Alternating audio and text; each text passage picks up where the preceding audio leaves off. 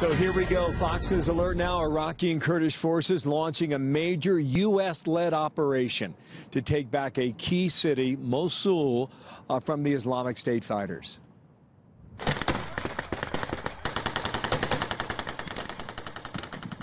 ISIS occupying that city for more than two years. They are dug in.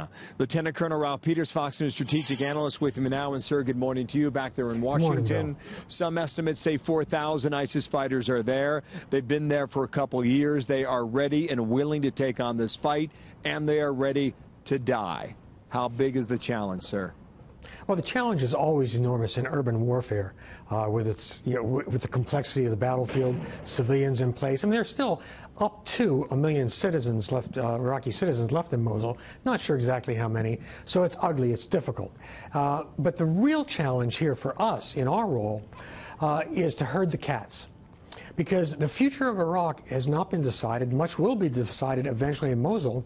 And you've got all these factions. You've got the Iraqi military, Iraqi police, Iraqi anti-terror commandos, Shia militias, Sunni Arab, local Sunni Arab militias.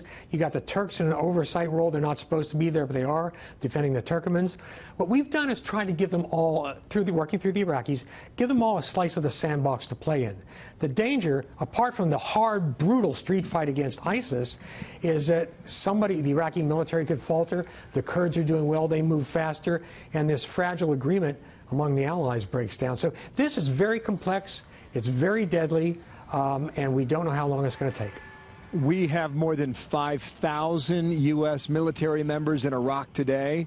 Um, how deeply are we involved in this operation? And certainly there's a risk of casualties here as well. Well, there's always a risk of casualties. Uh, there's no question about that. Uh, one would hope they're, they're, they're minimal. But we are playing multiple roles.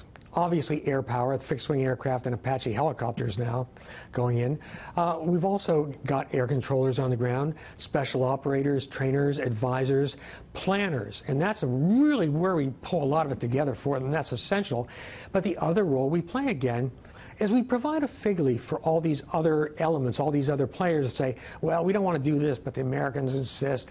And so we are the key clothespin holding the rag, on, all the rags on the line. Um, and that's a terrible metaphor, by the way. Yeah. But uh, listen, you have, yeah, but it's okay. Yeah. But you you have um, a, a, toxic mix here. You have Kurds yes. on one side, the U.S. military, the Iraqi army, Shia militia, Sunni militia. Um, when you consider all of that, um, even if you're able to take out this town, and, and, as you refer to these terrorists running for somewhere else, um, what, what, happens to the state of ISIS? Uh, even well, if you're successful, and, and, if you consider whether or not uh, the Iraqi military, are they better today than they were five years ago or ten years ago? Well, they're certainly better than they were two and a half years ago because the previous prime minister um, had basically stripped out all the professional officers and put his cronies in, which is a key part of why they fell apart.